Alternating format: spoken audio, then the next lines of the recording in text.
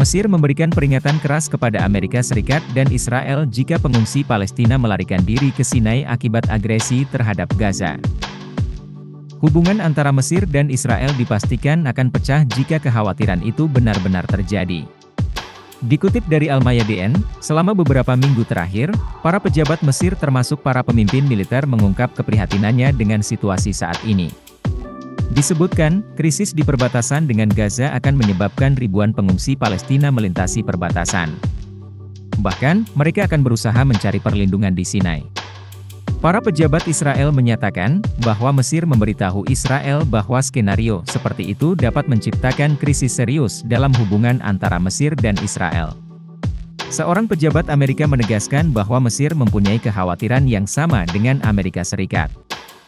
Ia mencatat, bahwa para pejabat Mesir juga memperingatkan Washington mengenai perpecahan dengan Israel jika hal itu terjadi.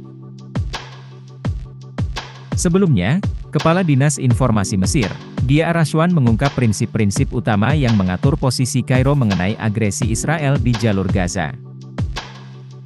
Rashwan menegaskan penolakan mutlak Mesir terhadap kebijakan pemindahan paksa yang dilakukan oleh Israel terhadap masyarakat Gaza.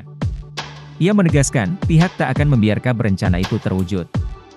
Seraya mengatakan, Mesir memiliki semua alat yang memungkinkannya untuk melestarikan tanah dan keamanan nasionalnya.